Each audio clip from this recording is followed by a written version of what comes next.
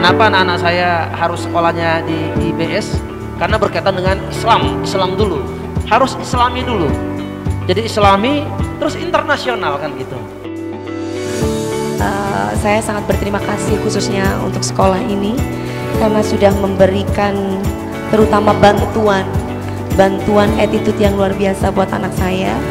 Awalnya memang kita cari uh, sekolah yang berasrama yang memang uh, nilai agamanya sangat diutamakan sekali. Nah kebetulan setelah kita cari-cari dan ternyata semua tertuju kepada IHS. Kita mendapatkan informasi visi dan misi secara langsung dari foundernya, dari owner uh, IHS sendiri yaitu Bapak Emil di mana beliau mempresentasikan visi dan misi yang begitu luar biasa yang membuat kita semakin yakin bahwa anak kami tepat sekali kalau kita taruh di IHS ini.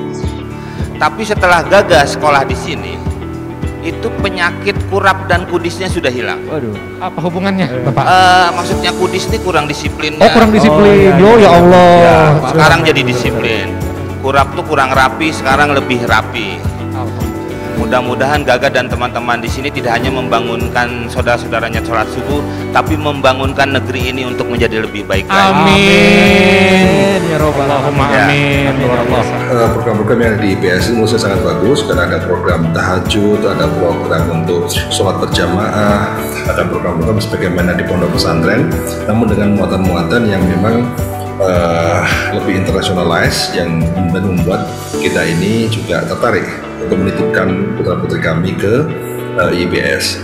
Awalnya berat mau berpisah sama anak, tapi ternyata memang ini diperlukan untuk bisa membentuk karakter anak yang lebih kuat nantinya. Jadi gak ada yang namanya orang tua ingin jauh dari anak kan mas ya. Tapi aku percaya kok sama sekolah ini karena dia selalu menenangkan orang tuanya. Dia selalu bilang sama saya, Mama, aku nggak apa-apa di sana. Aku aku seneng di sana. Bis-bisnya semua sayang sama anak saya. Mungkin selama ini kayak saya ngerasa, aduh ini pilihan tepat nggak pilihan tepat nggak. Tapi ketika ngelihat foto-foto anak kita lagi belajar, lagi ngedeketin diri sama Allah gitu ya, lagi uh, ngaji, itu semua terbayarkan. Karena saya yakin ini adalah jalan yang terbaik untuk mereka juga gitu. Nah jadi untuk sekalian para orang tua yang ada di sini tentu sekali lagi saya hanya sekedar menyampaikan ya bahwa pengembangan diri itu saya kira tidak cukup hanya dari perkuliahan, dari kelas ya, tapi interaksi di lingkungan sekolah, interaksi di organisasi, proses berorganisasi proses itu menurut saya satu hal yang luar biasa pentingnya. Dan moga-moga siswa-siswa di IPS ya.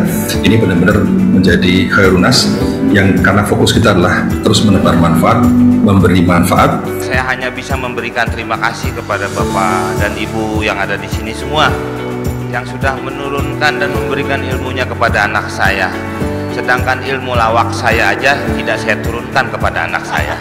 Tapi Bapak Ibu betul-betul memberikannya dengan tulus dan ikhlas. Terima kasih banyak semuanya. Semoga Allah membalas kebaikan Bapak Ibu semuanya. Wabillahi taufiq wa hidayah. Wassalamualaikum warahmatullahi wabarakatuh. Waalaikumsalam warahmatullahi wabarakatuh. Boleh minta tepuk tangannya untuk seluruh narasumber yang sudah hadir